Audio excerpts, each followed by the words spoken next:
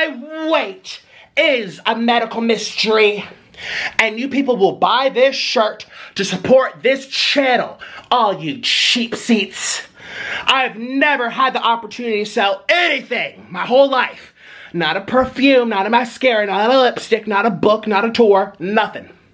A t-shirt. So you better do it. I'm over here slaving away. Oh. And if any of you guys have my situation type moment deal, have a medical mystery with your weight, this shirt is greatly appropriate for you. You better let all those people know that